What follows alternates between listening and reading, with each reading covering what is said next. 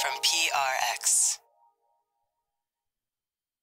Uh, hey everybody, this is Scoots, and this is a uh, little Valentine's Day uh, TNG episode. I didn't realize how many TN t- Star Trek: The Next Generation. Don't worry if you've never seen Star Trek: The Next Generation before, but this is a really fun. Like this is one of my favorite ones because there's a couple where we get like really insights into Jean Luc Picard and uh, that go pretty deep. And uh, so there's a lot of good ones. This is this is not the number one one. I think we may have run that as a repeat already, but this is probably number two Deep Picard cut. But you you could sleep right right through it. Uh, no need to have any Earl Grey uh, for this one. But and, oh, by the way, if you're a TNG fan, we're working on something. If you listen to the ad supported podcast, we're working on uh, our own uh, feed full of TNG episodes. And then if you support the show on Sleep With Me Plus, you have so much access now to, to TNG content split out. You know, you could get the story only TNG content in one podcast or the ad free TNG episodes. Or if you're a Boar friend or a Boar bestie, you get access to those uh, compilation episodes. But stay tuned because soon you might find a TNG uh, like uh, a feed in your podcast app, your ad supported podcast app, uh, full of TNG episodes if you're a TNG super fan. So thanks, thanks, and good night, everybody. Oh wait, this is the beginning of the show. Uh, so here's uh, Scoots. Uh, right, I don't know. Oh, he'll be doing the PP like the PP one. That's what I call it. Sorry, it's that's a very technical term. But this is like where I say, uh, friends beyond the binary, ladies and gentlemen, boys and girls. Or this came after that, probably best. Thanks, everybody. All right, everybody, it's Scooter here. It's time uh, uh, to talk about Sleep With Me Plus, but more to talk about Sleep With Me. Like, you know, Sleep With Me, why does it even exist, right? Because I had found that most sleep audio that was out there, it didn't work for me. And a lot of it made me feel worse, right? Because it reminded me of how it feels in the deep, dark night. And that's where the idea of Sleep With Me came from, was uh, being lonely in the deep, dark night, needing something to take my mind off of what was keeping me awake. Because I was desperate to sleep, but I was more desperate for all the rigmarole around not being able to sleep to stop. And that's why Sleep With Me exists, because I was like, man, doesn't it, does anybody else in the world want something like this? A friend in the deep dark night to tell them stories, make them giggle, keep them company so they could fall asleep. And you probably heard me talk about Sleep With Me Plus and supporting the show. Like, why does Sleep With Me need support? We're 100% reliant on uh, listener action to support the show, whether it's supporting the sponsors or supporting the podcast directly. There's no outside funding for Sleep With Me. And at this point, it takes over 120 hours a week uh, to make uh, two episodes of Sleep With Me and put them out and, and keep in touch and do all the stuff to keep the show a going, which is ends up being over 500 hours a month. And in the past, uh, you know, I used to do as much of that work uh, as I could myself or cut where I could. And, uh, you know, over the years, we have had the support to slowly delegate. And all that means the sport so show is more sustainable. Like when I was doing it all myself, it just wasn't sustainable. And I think most of the people that rely on Sleep With Me on a regular basis, you want the podcast to be around when, when you need it, right? Uh, you want it to be there, whether you listen twice a week or you listen to 10 episodes a night. You count on the show, and the show counts on you, right? And so if you support the show on Sleep With Me Plus, what do you get? Well, you get uh, to listen the way you want to listen. You know, we've learned over the years, so like uh, some people like stories, some people like intros, some people like certain styles of episodes, some people like bonus exclusive content. And Sleep With Me Plus is able to offer all that in a way that's easy to find stuff, easy to use. So if any of that sounds appealing to you, you could sign up at sleepwithmepodcast.com slash plus. That's uh, sleepwithmepodcast.com slash plus. And you can try out a seven day free trial if you want. You know, get everything set up and then see what you think. Uh, thanks so much.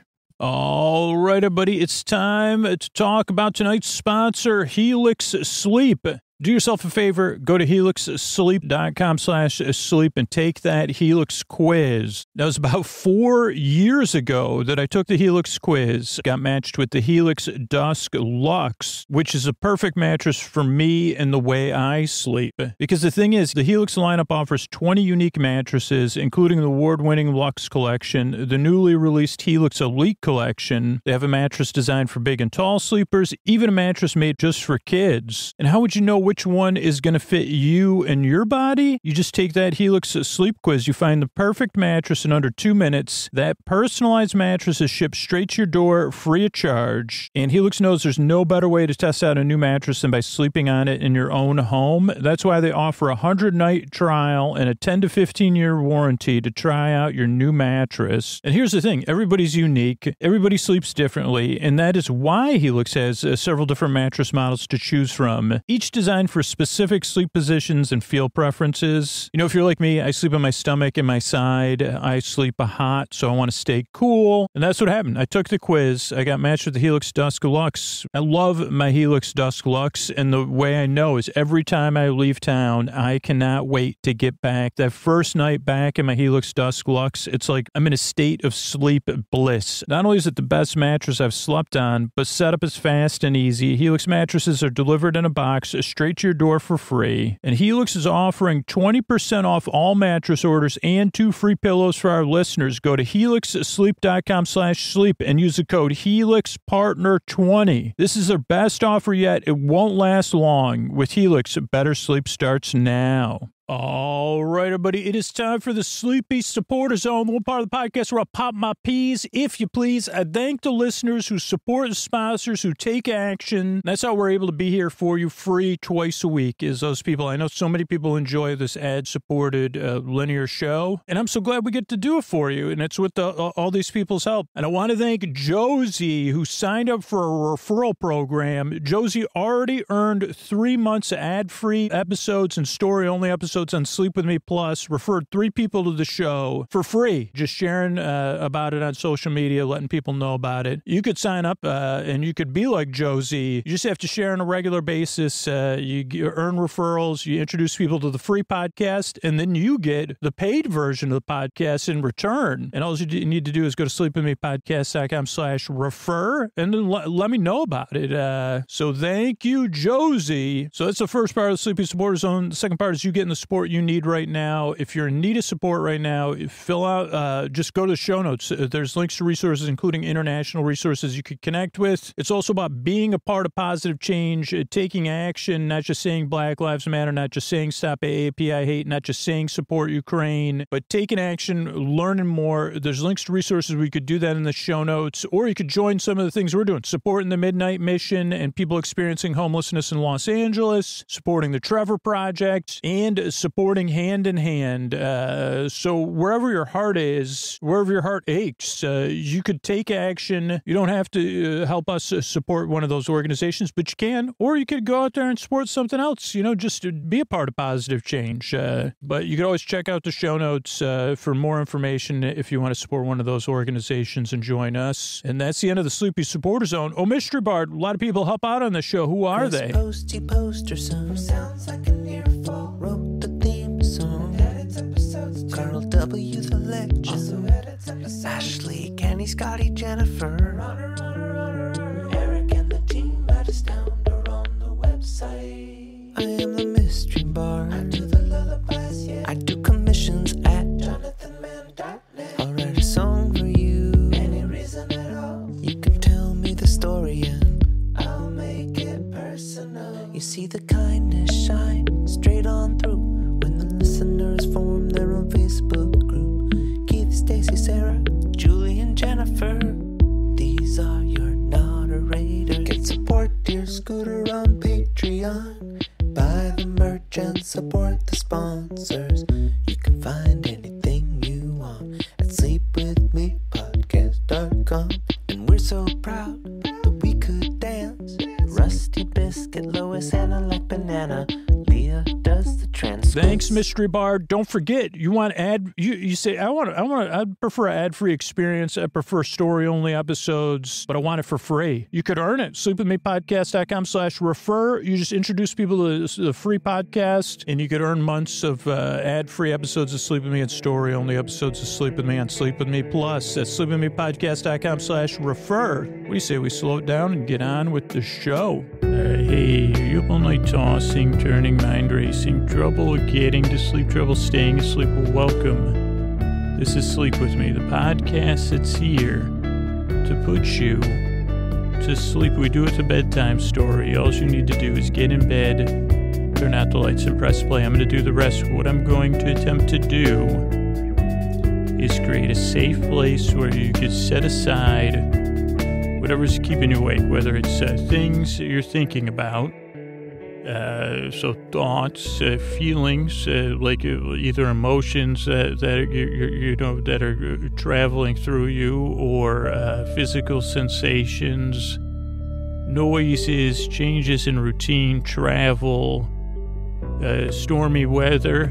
You know, that could be something like uh, in the summer season whatever's keeping you awake, I'd like to take your mind off that. The, the, the safe place I'm going to try to create, here's what I'm going to do I'm going to send my voice across the deep, dark night. I'm going to use lulling, soothing, creaky, dulcet tones.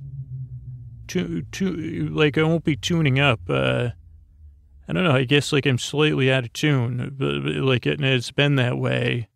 I guess because I'm not a musician like it, like I'm I'm both undertuned. Can you? Is it called overtuning and undertuning? This isn't a joke either. Like when you say but you pluck the string and then you move, you know, whatever you do, bing, bing, bing, and then you move it, boom, boom, boom. I mean, I know some people do that by ear, and some people use a device. I mean, I would say I'm out of tune, but then I would never know. Like I could be sitting there all day, like like be like, okay, now I'm overtuned. Now you're under too, taught, not taught enough. Uh, T A U. That's a podcasty word, taught. Uh, also, I guess that's a good end. It, like if I wanted to talk like one of my aunt, my aunt from Long- taught. I thought I taught you uh, how to tune this thing.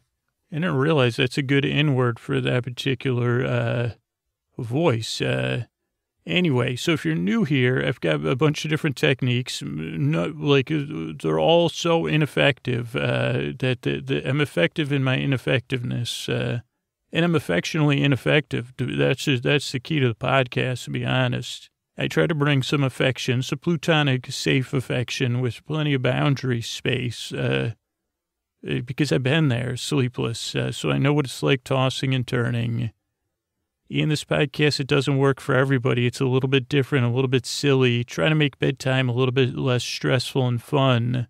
And also take the take the load off. If you can't sleep, I'll be here the whole time. And my affection springs from that to be like, geez, I know what it's like lying there. And if I could relieve that at all, it's you totally my honor because I've been there uh, as a kid and as an adult. Uh, so if you're new, I guess that's it. Affectionate infection. The Sleep With Me podcast. Uh, it, that doesn't make any sense. Exactly. Ineffective, affectionately ineffective, uh, and ineffective, whatever. And I'm not even sure what invectives are, but I might have a few of those as well. But if you're new here, let me set the structure up for you. So the show opens with about five or six minutes of business because we do that mostly at the top of the show and the credits, and that's how we keep the show free and the archives free.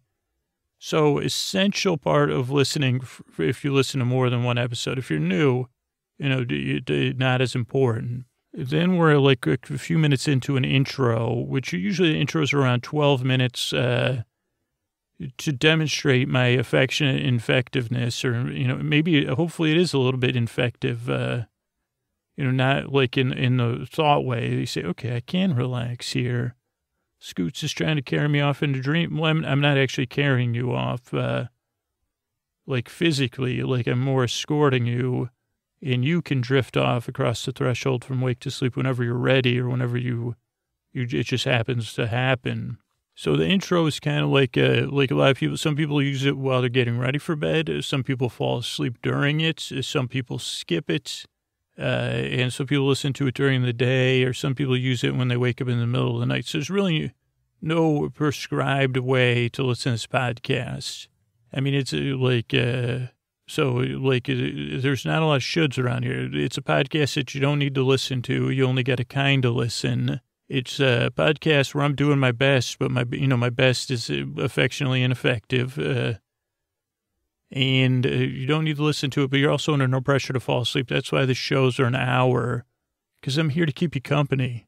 I'm here to be your companion, your friend in the deep dark nights. Uh, and tonight we'll be talking about Star Trek The Next Generation episode The Tapestry. And there's a great uh, quote in that episode uh, at the very end, actually, because I said, why did they call this the tapestry?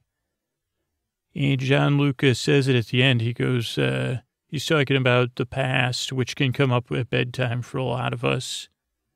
he goes, geez, there's parts of my youth I'm not proud of. Uh, loose threads, untidy parts of me I would like to remove. Who can't relate to that, right? I don't know if you could hear that. My hands were clasped and my wrist cracked. I was so, I was so emphasizing that point. Uh, and I'm still clasping my hands. Uh, I don't know. I'm in a hand clasping mode. Uh, but when I pulled back to Jean Luc, uh, but when I pulled on one of those threads, it unraveled the tapestry of my life.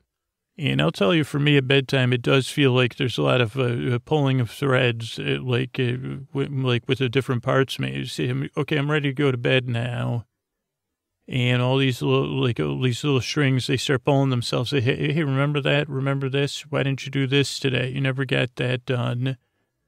You never follow through on that. What about tomorrow? Oh boy, let's think about that. Don't mess that. You know, all these different, uh, like a litany of string pulling. I like using the word litany every few. Uh, I just like that word. Uh, I don't know why, but uh, anyway, like like where it's a lot of things tugging at your, uh, not just your thoughts, but your feelings, and somatically for me, like my physical body almost and that causes the tossing and turning, which causes like, well, should I try to resolve these problems? Should I just tell my brain to be quiet? Like for me, that that's the rabbit hole I descend down. This podcast offers an alternative. Uh, uh, like let's take a breath here and picture just a fuzzy, friendly rabbit, because uh, you could listen to me and follow my rabbit like because you, you, hear about these rabbit dens. Uh, and I hear, I hear they have a lot of twists and turns, but they also have nice den-like areas that are nice and warm where all the rabbits can snuggle and rest. And ideally, the story and the intro both do that. Like, uh, so I'll be talking about Star Trek coming up in a few minutes. Uh, but I'll go on a twist. I'll go on a tangent. I'll over explain. I'll slow down. I'll do, do, talk about the dialogue at any point you might say, well, I'm not going to follow Scoots and, you know, I'm going to check out this, uh, look at all those, I wonder if I could put my head on that rabbit's uh, side. Oh, this is nice here. Nice r- rabbit brass. And, uh, ideally, you don't even notice. You're listening to me. You stop thinking or you've been distracted as you think about, like, how about, I wonder if they sell any tapestries of Jean Luc Picard, because I would like to have one of those on my wall, uh, especially one, or actually on the wall of my castle. That would be cool. If, if you had a castle and then you have a tapestry of Jean Luc Picard, like, that is, uh, I don't know if that's, meta, is that meta or ironic? I don't know, but it would be cool. You'd have it in your, like, the Great Hall you say, yeah, this is what's that giant tapestry on? What's Jean Luc Picard, Enterprise, you know, to, to, Star Trek: The Next Generation. And yeah, in the halls of heroes, I have other tapestries of you know Data, Worf, uh, Ro, Riker, uh, Guinan, you know, all my peeps. Uh, they say, okay, interesting. And I say, yeah, I like a little bit of like I like a like a like a great. I like to live in a castle with tapestries from uh, modern TV shows. Uh, so yeah, where do you buy your tapestries? Well, I, I, I like uh, tapestries, tapestries, tapestries. Is where I usually shop. Uh, that's where I, you know, that's where I like to do most of my tapestry purchases. Uh, anyway, it was just, anyway. So I guess I got off tangent there, but uh, I was on a tangent. But so if you're new here, that's the structure of the show. We talk about uh, the next generation on Sundays. On Tuesdays, we have uh, like a bedtime story or something like a bedtime story.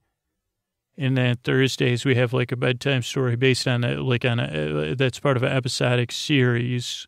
And this podcast is a little bit different than other bedtime stories. Bedtime stories for grown-ups, uh, just my particular brand of bedtime story, which is like a, like a oddball, meandering, if ineffective, uh, it maybe has invectives, but it's infectious, infectiously, hopefully like the, the bore giggles part are like infectious where you say, wow, like think about it, like, uh, like uh, thousands and thousands and thousands and thousands of people are listening to this at the same time you are.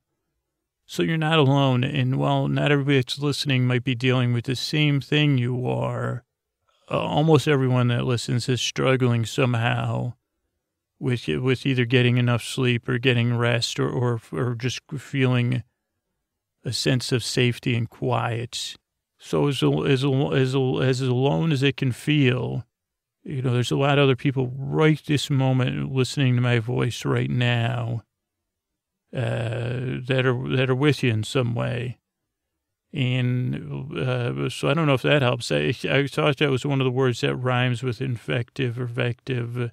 Connective. It's connective. Uh, it is. Uh, and most of those people like me can relate to how it feels. Uh, we may not know exactly what it is, uh, but we can relate. And that's why I make this show. Because I tried other stuff for me, like, uh, you know, all the other sleep stuff. And I said, geez, why isn't there something a little bit like uh, a bit, I'm a bit of a goofball. Why isn't there something like that? And I, I said, uh, well, I have fun telling stories like that. Let me try it and see if I can put people to sleep. And it took a few hundred episodes, I think, to get it get get a good groove on. But we, you know, we worked our way there, and some people have been along for the whole ride. And and if you're new, I'm glad you're here. You know, give the show a few tries. It doesn't work for everybody, like I said, but most of the people that write reviews say, "Geez, after the two or second or third time, you know, I, I was able to let down my guard and." Uh, you know, it, it started helping me out or, or made me smile or I couldn't fall asleep, but I, but I, I, I could listen to it and it kept me company in the deep dark nights. So whatever it is, like I said, like I say every almost every intro, I'm glad you're here. I work very hard. I yearn and I strive to help you fall asleep. So thanks so much for coming by. All right, everybody, it's Scoots here. I'm talking about Sleep With Me Plus. If you haven't checked out a trial, you know, there's seven day trial at all levels at Sleep With Me Plus. You go to sleepwithmepodcast.com slash plus, sign up, you know, cancel in six days uh, before your trial renews. But I want to talk about an uh, email I get uh, somewhat often. It kind of goes like a little bit like this. So maybe you can relate to this email. You know, Scoots, I love this podcast. I've been listening to it for years. It has changed my life. It has changed how I sleep. I know most people love listening to this ad supported version. They listen linearly and they wind down during the intro. They fall asleep during the story. But Scoots, I'm different. I love the show, man. But the thing is, I, I listen all night long, and you know, just transitions between the shows and the ads. Or, oh man, like with supporter zone, I fall asleep early during the intro, and then I hear the supporter zone or the, the sponsors between the story. Or I'm a musician, so hearing the mystery bard sing, and I want you to know, yeah, I see you. You love the podcast. It's had this powerful impact. I'm putting you to sleep. You consider that priceless, right? That's what we designed Sleep With Me Plus for, for all those people, people that listen all night, people that just want the intros, people that just want the stories, musicians who don't want any music, they get that story only feed, people that don't want to hear the supporter zone, they don't want to hear the ads, they don't want to hear the thank yous at the end. You just want one specific show, a lot of it, whether it's Bake Off or TNG or the store, certain stories. You want exclusive content. All those people are a little bit different, and that's what we finally have been able to offer with Sleep With Me Plus. It's for those of you that say, I love this show, but could, I, could, I could use a little bit more of this or a little bit less of this. So get over there. Sleep With Me Plus was made for you. We've been waiting 10 years to be able to do this for you. So you could sign up. And again, test it out first. Uh, it works in almost every podcast app, even on Spotify. And you can sign up at sleepwithmepodcast.com slash plus, sleepwithmepodcast.com slash plus, and check it out. Thanks. All right, here we are. We're talking episode, season six, episode 15. It came out uh, February 15th, 1993. And I was trying to think what I was doing. That's right around my birthday. That's why I was like, what was I doing February 13th, 1993? I was up to probably up to no good. I may have been in Buffalo uh, visiting someone. And uh, like, uh, anyway, like, uh, but I'm not positive. Anyway, enough about me. Let's talk about Picard and Q. A Q episode without a Q in the title. And I didn't read any articles about this episode because I, I don't want to spoil myself. But, uh, you know, I guess it's more of a Picard centric episode. But there's a lot of Q, and it's a blast from the past. Uh, and again, this episode opens mid action, as we have a couple times every season, it seems like. They're in the med bay very medical procedural action, like a, I don't know what year ER started. I don't know if that was late 90s or mid 90s or early 90s. Uh, Eric LaSalle, uh, George Clooney, Juliana Mar, Mar, Margu, Mar, I can't say her last name. Uh, Goose, uh, from Anthony, uh, oh boy, I'm sorry, Anthony. Uh, Goose, I, I am sorry to call you Goose, but, uh, Actually, I think I also liked you in Revenge of the Nerds. So that's why Anthony Edwards, of course. Thanks, Brain. That was a TV, TV. Here's a little uh, factoid. George Clooney was in two shows named ER. There was also a situational comedy called ER with the subtitle "It'll Leave You in Stitches." A lot of times, I think these situational comedies are dreams because I the only time I saw this ER was when I would be sick home from school on reruns on like the Lifetime channel or some random network like WOOR or something. Or, you know, one of the like cable channels you'd rarely tune into. They had a couple good situational comedies on during the day, reruns, and ER was one of them.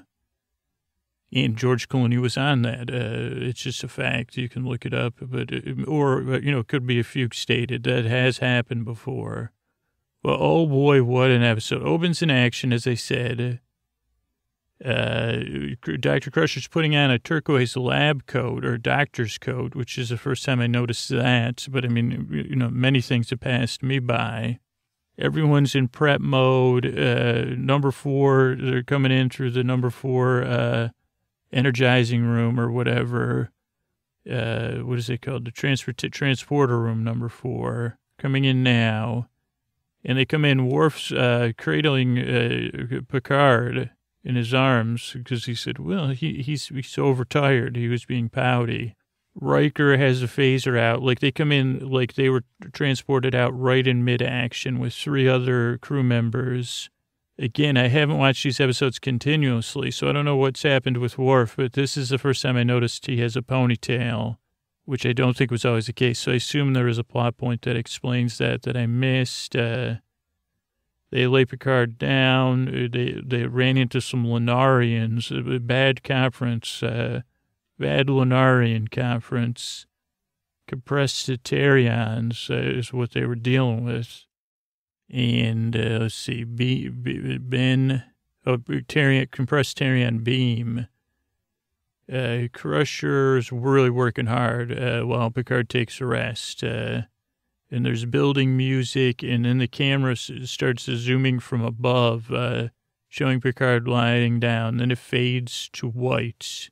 And when it fades back again, it's like iridescent white, and Picard's looking around. Everything around him is white, like he's inside a cloud. And there's sort of like an iridescent uh, figure with uh, arms open at a distance, uh, very luminous. And who is it but our good friend Q, who holds out his hand for Picard to shake. And Picard t- takes his hand, and uh, uh, Q basically says, uh, the camera, I think, pull, oh no, he takes his hand and he pulls into Q. I don't know if the camera Picard did that and Q says, Welcome to the big farm in the sky, uh, Jean Luc Picard. And this is unintentional that these themes episodes keep coming up, but uh, it just am taking recommendations. Uh, but Picard and Q, within the open episode opens, and Picard and Q are holding hands, but Picard pulls his hand back. Uh, and then I'll read through the dialogue, but his father appears and scolds him at some point. Uh, Q's iridescent look is reminds me of like a character from one of the Tron movies. Uh, just the, the level of glow. His father again is not pleased. Then there's more and more voices. I got to say something about John de Lancie's hair here. Looks gorgeous. Uh, man, his hair looks good this episode. Probably the best head of hair I've ever seen on, on a, a member of the Continuum uh, today. But it, no, really, like I, I, said, it just struck me enough to write it down. I said, man, his hair looks great. Uh, something ahead. Picard looks down. Q toss. Oh, okay, heart. Uh, okay, we'll get to the dialogue. So Picard, or, you know, Q says, welcome to the big farm. And uh, Picard says, this isn't uh, the big, you know, and he goes, yeah, yeah. By the way, I'm, I'm your uh, higher power. And Picard goes, no. And then Q says, blasphemy, don't make me smite you. And he goes, you know, don't you remember with that, that conference? They sent you, to, they said, go do some research on the big farm, the Lenarians or something. And Picard says, I refuse to believe the afterlife is run by you. The universe is not so badly designed. And then his dad comes by. He says, don't go off to the academy, Jean-Luc. Uh, Starfleet's not going to be any good for you but you never listen to me anyway. You're, you know, Mr. Big Shot. Uh, and he goes, don't you, don't you know, like, I'm your internal critic. I'm trying to protect you from this kind of stuff. Uh, and Picard says, stop. Uh, and then the dad still says, you, you've still managed to disappoint me, Jean-Luc. And then there's a bunch of building voices, as I said. And Q says, these are all the people you let down. And uh, Picard says, what do you mean? And Q goes, you know, butterfly wings, bro. Uh, your, your butterfly wings have let all these people down. Nice job. Uh, do you want to do one apology or multiple ones? Because they're all listening. And Picard says, I'm not going to perform for your amusement. Uh, and Q goes, this moment's for you. And Picard goes, you don't do anything. You've got something, you know, he goes, for the benefit of my soul. And Q goes, Well, now that you've shuffled off the mortal coil, we're going to have plenty of time to spend together. And Picard goes, Oh boy, like what? Uh, and Q goes, Are you forever? Are you sure you don't have any regrets? Uh, and Picard goes, Yeah, regret being here with you. And, you know, Q plays faux dramatic, you know, Oh, John, you, Luke, uh, you, you hurt my feelings. And again, I haven't seen all these episodes, so I didn't know Picard has an artificial heart. Uh, you know, I thought he had a heart of gold, but he has an artificial heart, and uh, like that malfunctioned, uh, unreliable technology. And Q goes, "You never heard the story of what, uh, you know, what's up with this thing?" And Picard was like, "Mistake I made when I was a kid." And then we, uh, let's see, let me get back to this. Uh, yeah, when he throws the heart, he throws tosses the artificial heart to uh, Picard. Picard looks down when he brings it up, and he says, "I, regret a great many things, really." Uh, then we see young Picard kind of uh, uh, do like when he loses his heart, uh, like uh, it's with a Nausicaan, like Princess Nausicaa. I don't know if it's the same thing, but uh, he uh, like he loses his heart. He laughs uh, when his feelings are when he's sad about his heart uh, from Cupid. You know who took it because uh, Cupid says, "I'm from Nausicaa. We're taking you know you know this is figurative, uh, not really, but." Uh, and you see the younger Picard. There's like an actor playing a younger Picard, dashing his H E C K.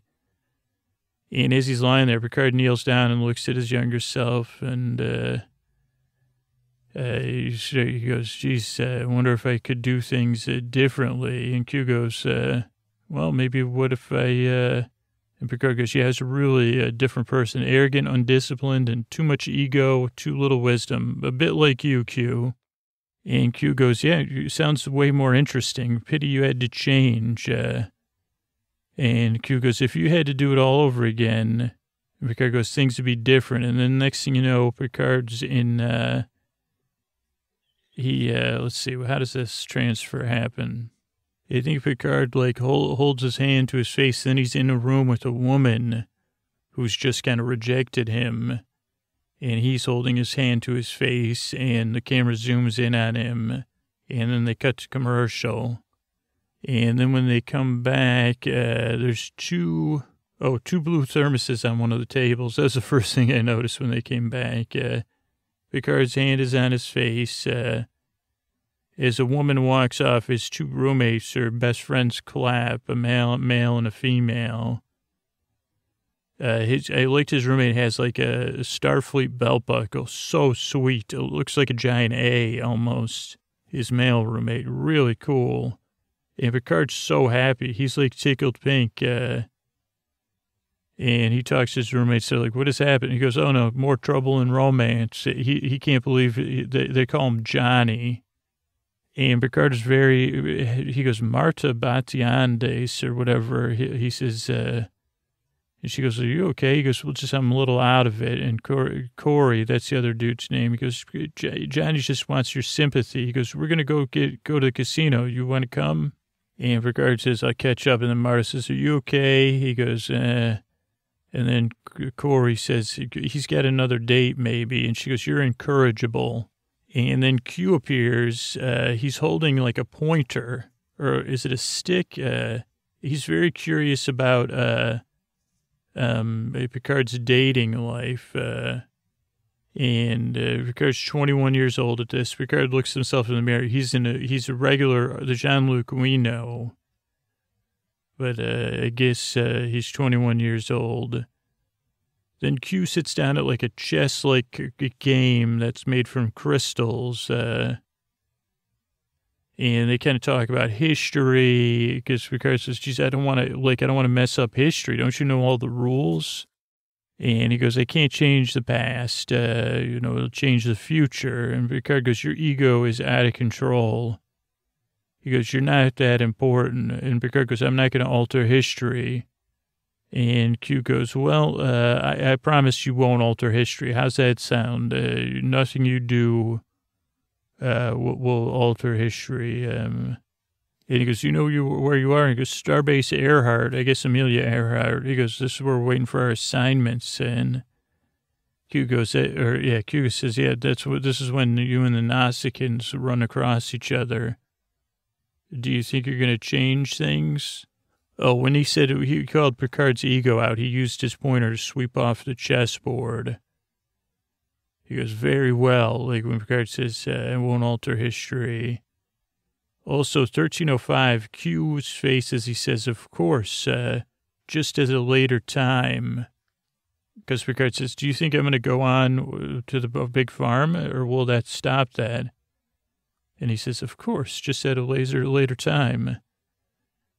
Then Picard starts asking, or Q starts asking Picard about his dating life, which was funny. And then Picard's like, geez, I'm waiting. He goes, what time is it? It is 1611, which is 411, I believe.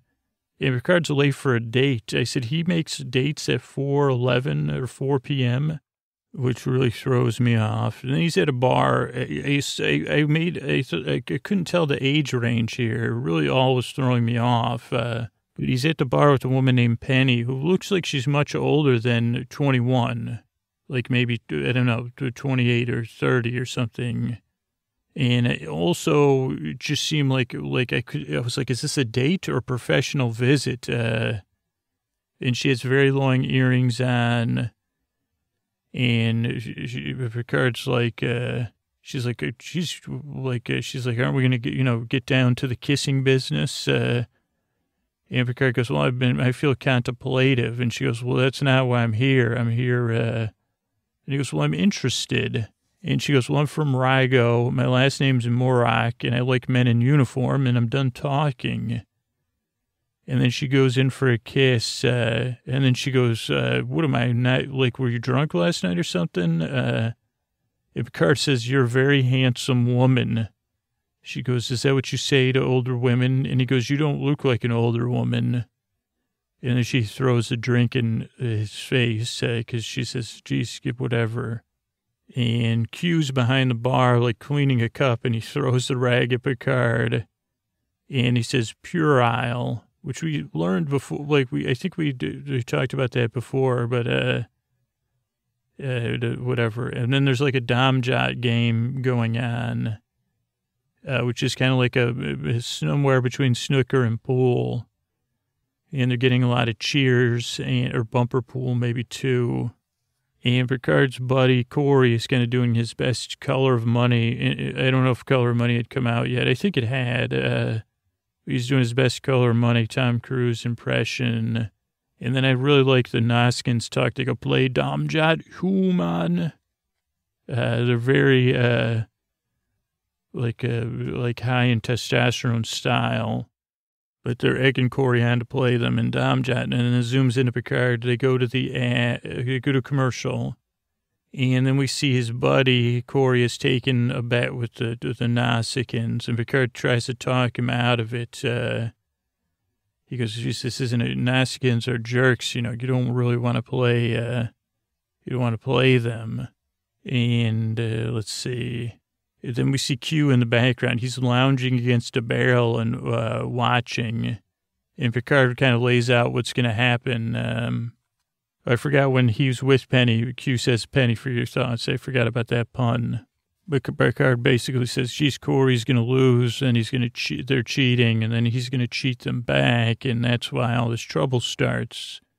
And he goes, and so I, you know, I didn't take the sensible side. I took my friend's side.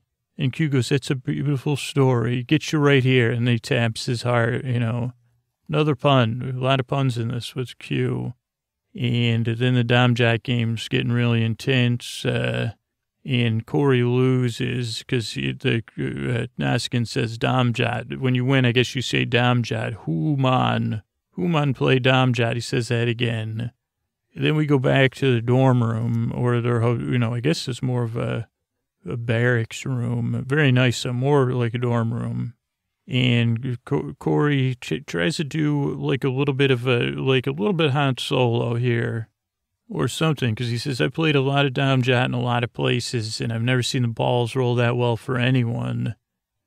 Just reminded me of a line from something, but I wasn't sure what. Uh, and Corey goes, I'm going to cheat back. And Picard goes, no, no, no, you can't do that. Uh, no way.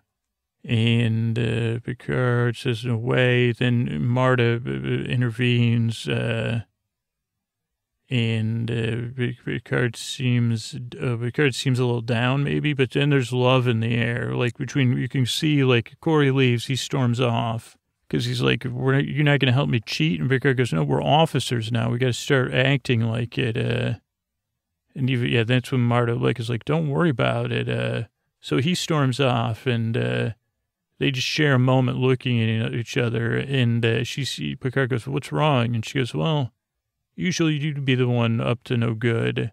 And Picard goes, Yeah. And she goes, I always thought you were a, a hidden responsibility. And uh, they go back and forth, you know, geez, maybe I'm getting older. She says, maybe it's these bars, you know, that are feeling heavy. Ensign Picard and Ensign Batan, Batandus. Sounds weird. And she goes, Jesus, too bad we couldn't get used to this new life together. And she goes, I mean, the three of us, Corey too, totally. And then there's a moment, I guess I did I write down the timestamp for this? Because it is hilarious. I didn't, but I'll tell you it in a minute. It's coming up on the one that's playing. But the doorbell rings and Q comes in and he goes, and my daughter's still saying this. She, she goes, Is there John Luke Picard here? And he totally kills the moment, you know, because it was definitely getting rom- romantic. And this is very 80s rom com.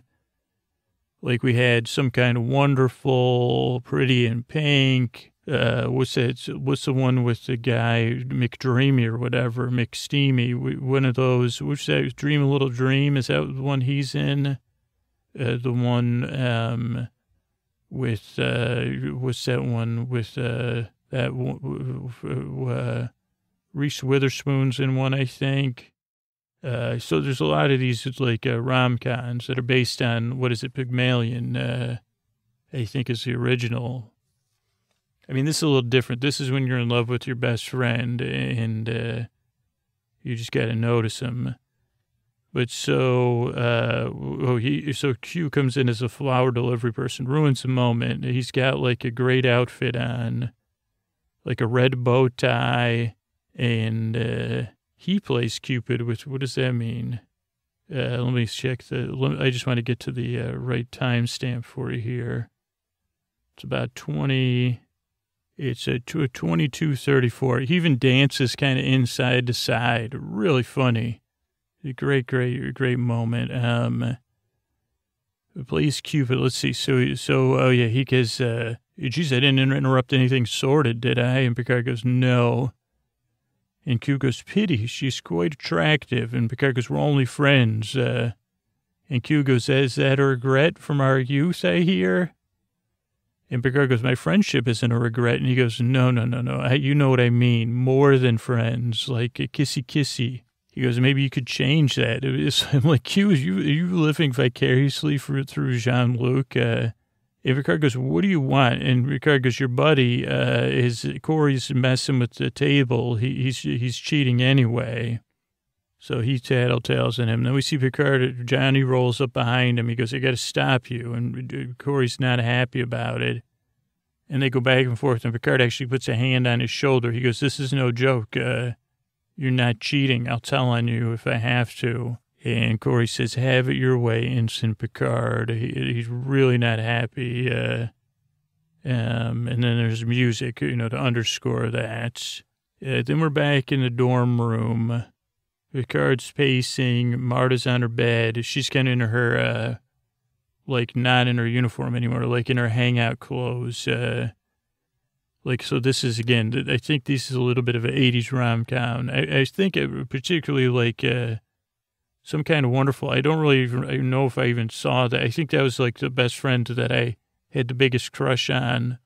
And uh, like, I think I, I always thought Eric Stoltz was pretty cool too. And I think that had the biggest hit song, maybe.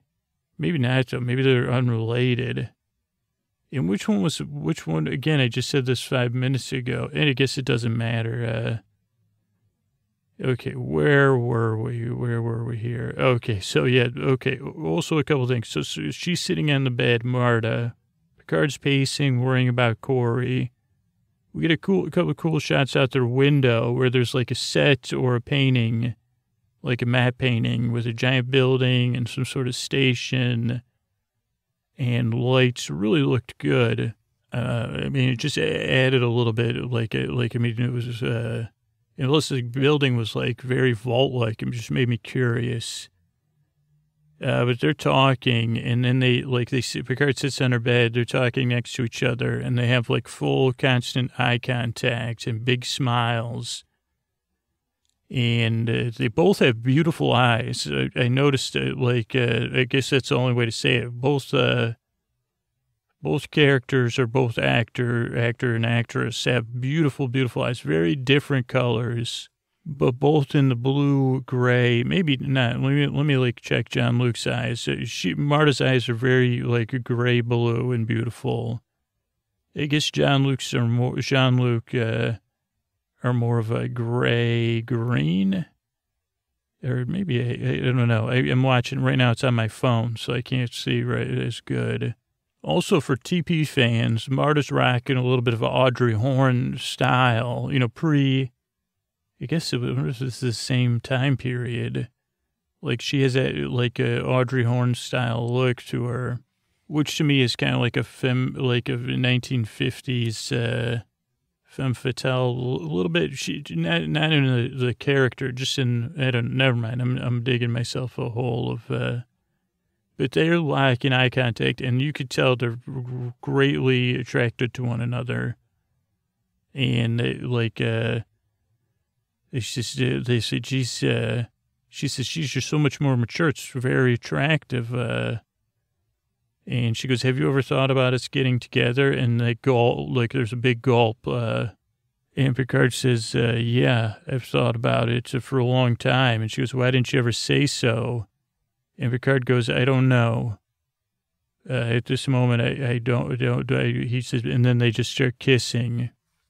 And because this is grown up business, it, it they skipped the grown up business part, but it goes straight to the grown up business. I was watching this with my daughter too. So I was gulping, wondering what was going to happen next. Uh, oh, and when Picard says, uh, I don't know, at this moment, he was almost whispering. I put make out city double exclamation point. Then it's next morning. Picard's in in Marta in in a bed, uh, and there's another person that reaches over to like rub his ear, and it's Q, and it's just a great reveal, very fun. And there's also on the headboard of her bed, Marta's bed, is like this prism sculpture thing that I really liked uh, a lot. And Picard kind of reaches, rolls over. He's shirtless and, and uh, to look at uh, Marta, and it's Q. After tickling his ear, he's got a big uh, smile on. He pulls his sheets up over his chest, uh, and uh, then he finally lowers his blanket once he starts to feel comfortable.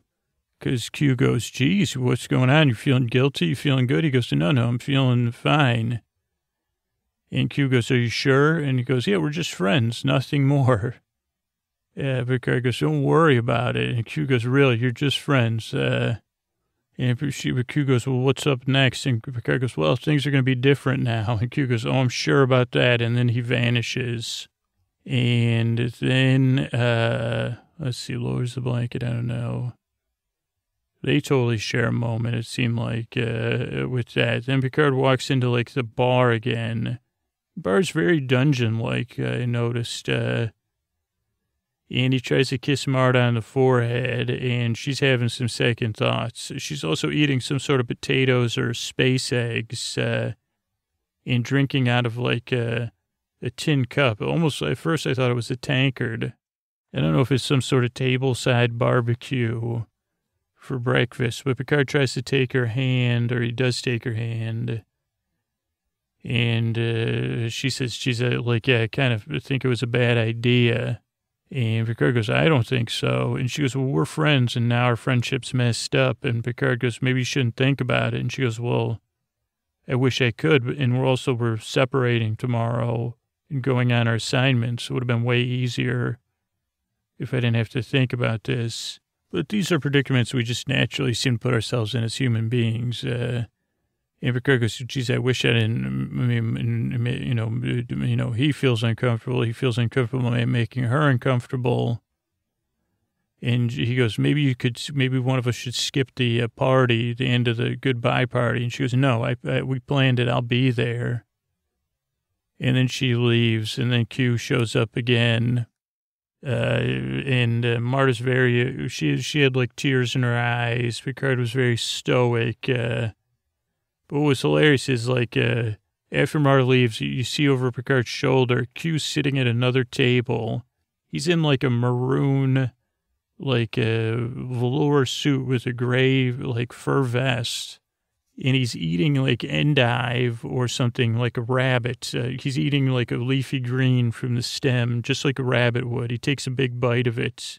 And then we cut to the goodbye party. It's just Corey, Marta, and Jean Luc. Uh, oh, Q also says, geez, you managed to uh, alienate your friends. Uh, you're doing really great. Try not to lose your heart. It seems like you might have already.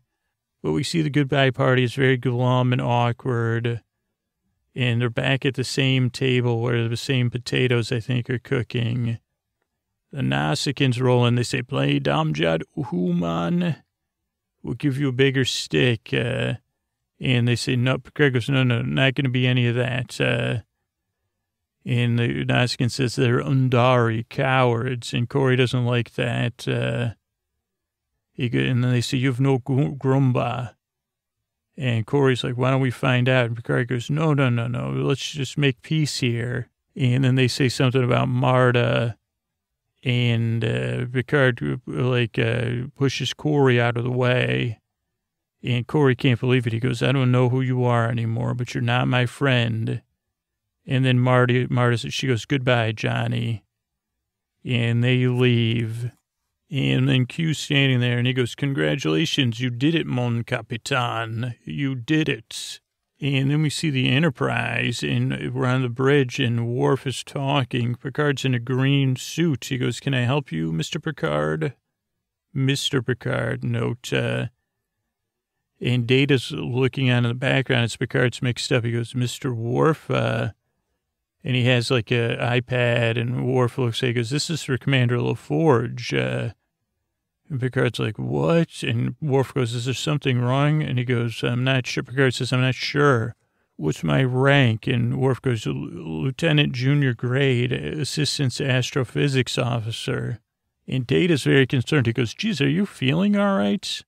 And Picard goes, who's the captain of the ship? He goes, Thomas Halloway, which sounds familiar. So I definitely don't know who that is, but I do. And Data goes, maybe I should take you down to sick bay. And Picard goes, no, I can find my way down there myself. And Picard walks into med bay, goes, Beverly, Beverly, you're not going to believe this. And then who's sitting at Beverly's desk but Q? And he says, Vel, vel, vel, in like a, a fake German accent. Uh, what seems to be the trouble, uh, Lieutenant Picard? Ian Q's in a doctor's outfit. He even has the round thing that doctors wear on their heads, uh, Bugs Bunny used to, with the strap. Uh, and uh, he's carrying a report. Oh, no, this is later. Uh, what does that mean, carrying reports? Yeah, but Picard says, What have you done? He goes, What you wanted. Uh, you're back at the present. You changed the past uh, for you. You changed your past. Uh, who you were as a youth, and now you're the man you are today. You should be happy. You got a real heart, uh, and you can live out the rest of your life in safety, running tests and making analysis and giving reports to your superiors. And then he disappears, and Picard has like a great, he sighs or breathes and has this great feeling of uh, regret and awkwardness. Uh, then there's an ad then Picard walks into 10 forward, and Riker and Troi are drinking some amber liquid together. And Picard really looks awkward. I really enjoyed uh, how out of sorts he kind of looks. Uh, and uh, then he sits down and he goes, I'd like to tell you about my future. And it, even this is great acting because uh, Troi's like, well, maybe I should go. He goes, no, no, no. I want to hear your thoughts too. And he goes, I want you to be straightforward with me. Uh, how do you how do you think I am as an officer? And they kind of look at each other and they're like, hmm. And Troi says, well, geez, you get good, you get good reports. You're thorough and dedicated. And Riker says, steady, reliable. Uh, they're really at a loss. Punctual. And Picard's like, punctual. Oh, great. Uh, and Picard goes, what if I had bigger plans? You know, what advice would do you think I could be, uh, I could move up the ladder. And Riker goes, this is probably not the best place to talk about this. And Picard goes, well, I'd like to talk about it right now.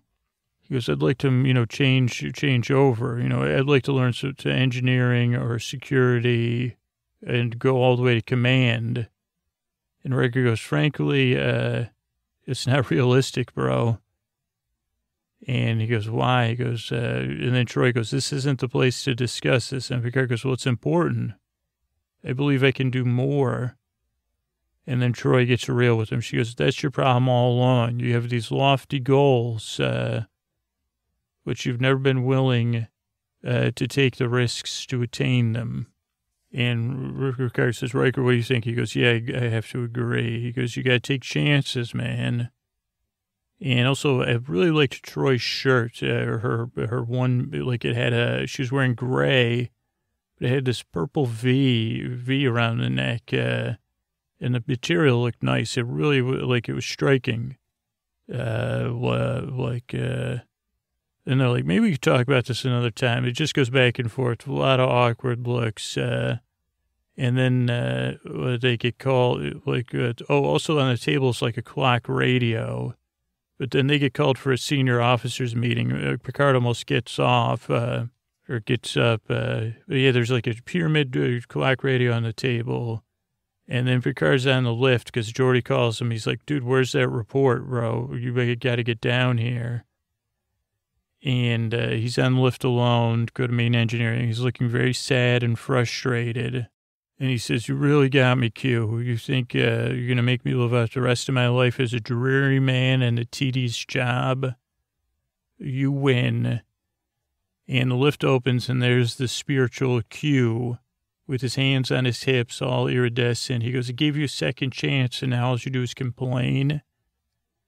And Picard goes, I can't live out, like, I can't be that person, bereft of passion and no imagination. It's not me. And right, or Q goes, au contraire. That's who you wanted to be. You wanted to take away the arrogance of youth uh, and be less like Q. And he goes, you wanted to, you know, not deal with the Nausicaan. And uh, he goes, so that's the Picard that we see now. No brush with Nausicaans, real heart. Uh, didn't realize how fragile things were or how important every moment is. Never put his life in focus. He drifted around.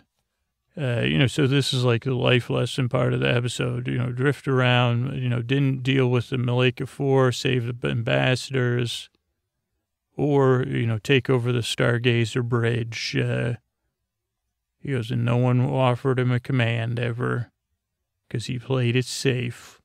And Q's like kind of right up in his face when he says that. Uh, he goes, never noticed uh, by anyone. And Picard goes, she's your right, Q. You gave me a chance to change, and I took it. Uh, but it was a mistake. I made a mistake. And the Q is walking away, and then he turns around and he goes, "Are you asking me for something, Jean Luc?" He goes, "Yeah, give me, put me back. I want to go one more time back and." And Q goes, Well, you know it's a risk. And Picard goes, Well, I'd rather be at the big farm as the man I was than be live that life. And so then we, uh, and Q is very Tron like, very serious looks. Then they go back to the bar on No Gramba. And Picard goes postal, and there's like an 80s action scene, 80s action bar scene with Marta and Corey and Jean Luc. Uh, and the Nausicaans uh, doing all sorts of, uh, you know, action moves. Uh, lots of, my daughter said, lots of stage uh, things. Uh, like, uh, she liked it. She said, this is awesome. But she's a kid. She doesn't watch very much action movies. Uh, Picard, uh, something. Oh, Picard laughs again. He's like, like as he, uh, because Cupid shows up and says, "Oh, let me let me take your love uh, away." And we go back as he's laughing. We go back to an overhead shot at the med bay, and Picard is laughing, lying, taking a nap in the med bay, smiling. And they say, Jean Luc, you're back. He goes, Oh, yeah, I'm here. Uh, so good to be back. And they said, You're going to be okay. And then we go to the close episode. Uh, and Picard and uh, Riker are having a heart to heart. Picard's touching all his fingertips together. And they go, to Picard goes, I don't know if it was a dream or what. And Riker go, or tr- Q's tricks. And Riker goes, Oh, you know, you never know. When you're near the big farm, there's, there's strange things happen. But it's pretty detailed. Uh, and he, like, Picard's like, I can't believe Q would give me a second chance or be compassionate. Uh, so if it was Q, I owe him uh, an apology or a debt of gratitude. And Riker says, in what sense? And Picard goes, well, he goes, there's many parts of my youth I'm not proud of. And uh, he goes, those were loose threads, untidy parts of me that I wanted to remove. But when I pulled on those threads, it unraveled the tapestry of my life. Uh, and we get the opening, the closing, it gives us the, and then Riker cracks up though because he says, I can't believe young John Luc uh, messing with Nausicaans. He goes, I would have liked to hang with that John Luc. Uh, and Picard starts telling old stories. He goes, Oh, that wasn't the first Nausicaan trouble I had, bro. He goes, Let me tell you about my sophomore year when I was on Morgan 5 or 6. Uh, he goes, There was a Nausicaan, and uh, he goes, Outlying asteroids. Oh, he goes, Sit back, Riker. But yeah, so they like a uh, close gives us the title and like the kind of meaning of the episode, and it comes to an end. A very good episode, and it had some nice moments. I really enjoyed it, and I hope you did too. Good night. Uh, I want to thank everybody that reviewed the show over on Apple Podcasts. Uh, I want to thank Justin TH from the U.S. Full of yes. This podcast is uh, soporific, however you say that word, sleepy. It delivers on the promise to gentle put you to sleep every freaking night. Thank you. Well, thanks, Justin. How about our brace? Uh, can't sleep. Uh, this podcast the best way to beat stress, anxiety in the world. At last, he, when trying to get some good sleep and recharge, uh, listen every night, and it's changed the quality of rest I get. Please try. Thank you. How about this one? Zimbalina, 13. Lucky number 13. Little Zimbalina. The Zimble that danced. Uh, so soothing. I fall asleep every time I listen to this podcast. I haven't made it through a total episode. His voice is so soothing. I love listening to him talk. Well, thank you. Uh, here's another funny one. Quaalude76 from Ireland. Can't help but nod off. Love this podcast. Knocks me out cold every time. Even 4 a.m. Plagued with thoughts, wide awake. Slap it on, put your phone on for 20 minutes, and that's it. Snoozy time. And how about AF 1212? Uh, perfect. I feel hypnotized every time I listen. Amazing. Thank you. Thank you. So thanks to everyone who reviewed the show on Apple Podcasts, over on YouTube. Thanks everybody that uh, is checking out those long episodes on YouTube. Uh, Sherry, thanks. Uh, Lizzie, Dashter, thank you. Justin C adjacency, Ty D, thank you and good night. Cupid, thank you and good night. Andrea W, thanks and good night. C Steele, thank you and good night. Uh, Nora R, thank you and good night. Uh, GA, thanks and good night. Susan K, thanks and good night. C Roy, thank you and good night. Pretty N, thanks and good night. Uh, Cupid, again, thanks and good night. Uh, uh, T T War, uh, popcorn, thanks. Uh, Brooke, thank you. Osa, thank you. Adriana, thank you. Lisa, thanks. Stacy, thank you. Ralthon, thanks. Uh, Chrissy K, thank you. David D, thanks. Uh, Little Masha, thanks. Ann P, thank you. CO, thanks. Uh, Teresa, thanks a lot. Uh, Chloe, thanks. Allie, Charlie, thanks and good night. Legendary, thanks. Uh, Idol, thank you. Uh, Joshua N, thanks. Navy, thank you. Tracy B, thanks. Billy with an IE, thank you. Bolts, uh, Bob, thanks and good night. Oh, Bob didn't like it actually. Gabby, thank you. Free G, thank you. Boris, uh, thanks. Uh, alone, thank you uh, Tori, thanks, uh, Stephanie, uh, Murphy, Mel, thank you, Anime, thank you, Sophia, thanks. Thanks and good night, everybody, for the support. Good night. All right, everybody, Scoots here talking you in with this month and uh, Sleep With Me Plus, uh, audio news. Uh, we got a referral program going. If you want to sign up for that, you can always do that at sleepwithmepodcast.com slash refer. I'm going to run through all the content we put out um, this month on Sleep With Me Plus. If you're still waiting to transition on Patreon to Sleep With Me Plus, you got most of this stuff too. And uh, first, I'm going to start with uh, like the the podcast, the bonus uh, podcast uh, on Sleep With Me Plus. And I'm going to go in reverse. So this Saturday, uh, Posty's got a new series that comes out on uh, uh, every other Saturday, just about and it's called Welcome to Scooterville. And he's real, people are really excited about this. Those are Posty Super Deluxe episodes. Everybody that supports the show gets those in the bonus feed. And they're really fun. They're really cool and really creative. Uh, some people like listening to them during the day. Some people fall asleep to them. On last Thursday, TNG First Contact Part 2 came out for Boar Friends and Boar Besties and uh, so it's coverage two two uh, two part coverage uh, in January and February. Bonus episode covering the Star Trek: The Next Generation movie Contact, uh, First Contact, excuse me. Uh, then Saturday. Uh, oh wait, no, I'm I'm scrolling too fast. Sorry. Um, yeah. Then Saturday, February third was another Posty Super Deluxe Welcome to Scooterville episode. And uh, yeah, that was all everything in the bonus content feed. I think we got one more bonus. We got um, some other stuff coming out. All intro, all night episodes. This for uh, Boar Buds and Boar Besties. Uh, it was Deep Value. And uh, uh, I don't know what the Patreon tiers were anymore. Deep Value and Ultimate Value or something.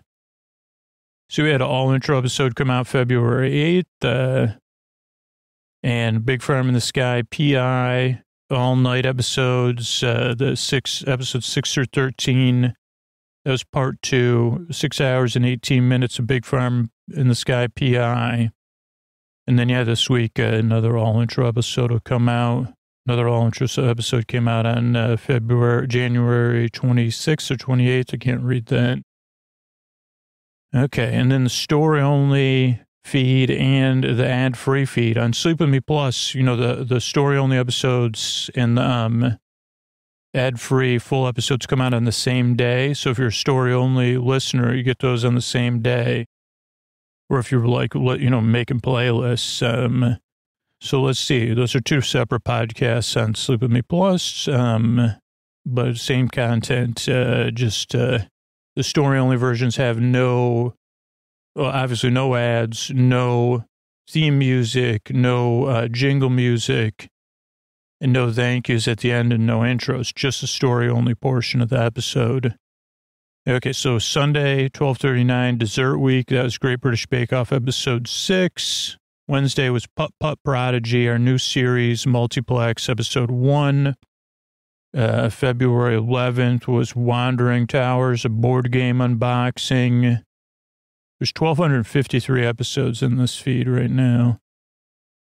Um, Sorry, I went off topic there. February 7th was uh, Tapestry, which was for Valentine's Day in the public feed. And that was um, a TNG, re- like a like a repeat of a TNG episode 560. February 4th, Roaring Twenties, Great British Baking You Off to Sleep, uh, episode 5. That's season 10, collection 7. Uh, 1235, January 31st, uh, was uh, Notebooks of the Journey into the World of Friends. That was a series review, we kind of look at the making of that series. January 28th was uh, Romancing the Stone, Tale of the Tape, uh, in anticipation of Argylle, uh, which you still haven't seen yet. Uh, that was, uh, and then uh, January 24th was Dairy Week, Great British Baking You Off to Sleep season 10, collection 7, episode 4. You can also see kind of we stick at the same kind of rhythm uh, for the most part of uh, a kind of random trending Tuesday style episode that could be anything the board game unboxing, tell the tape, uh, personal essay.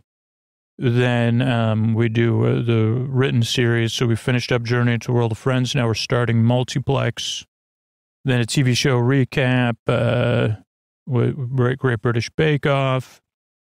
And uh, yeah, what else? Uh, I think that's everything. What I record this week? Great question. This ended up being the week of Bring It On, uh, the cheerleading movie from 2000, by kind of by accident. Well, not even kind of by accident, totally by like. Uh, I did an episode I thought was going to be about Crayola crayons, ended up kind of um, trying to imagine if there was a role playing game based on the film that I'd never seen. Bring it on, even though I quote the trailer all the time on this podcast. Then I watched over two episodes, uh, Bring It On, on mute, uh, and like kind of recorded, kind of like a TV recap episode. And um, those uh, like uh, with with some kind of like well, I rented the movie, so two out of two, two one and a half episodes have good quality closed captioning, but then my uh, rental ran out when I like I, I broke up the second episode into two parts so the final uh, 25 minutes of the show, the movie, I didn't have the best closed captioning, even though it was mostly action based. It was like the championship. but yeah, never seen. I still never saw it. It's already been brought, and but uh, well, I'll, you know, I'll look up the trailer later today just to see. And those will come out. I don't know. Right now, it's in February. I don't know. Those come out March or April. And those will probably come out as TV recaps because we're still recovering, honestly, from the strike. And I'm still a little, um, you know, all the Great British Bake Off episodes we recorded before the strike. Uh, and so I'm still easing my way back into figuring out what our future of uh, TV recap style episodes is. So we have some interim content right now as I kind of uh, see what I'm comfortable with uh, and is sustainable for the long term of the podcast. Uh, and so, yeah, we'll go from there. And uh, um, yeah, I think that's it for now. I'm uh, glad you're all here. And uh, if you ever want to support the show directly, trying to put these at the end of the public episodes um, just as an experiment so you can kind of get a better idea. Still a sleepy voice. But yeah, if you ever want to check out a seven day trial at Sleep With Me Plus, it is a huge way to support all the work that goes into the show and make sure the podcast stays sustainable so that you can, you can rely on it and a ton of other people can rely on it. Um, and, uh, yeah, you can do that at sleepwithmepodcast.com slash plus. Uh, and then let me know what you think, uh, or, or tell me so I can say thank you. Uh, thanks so much and good night.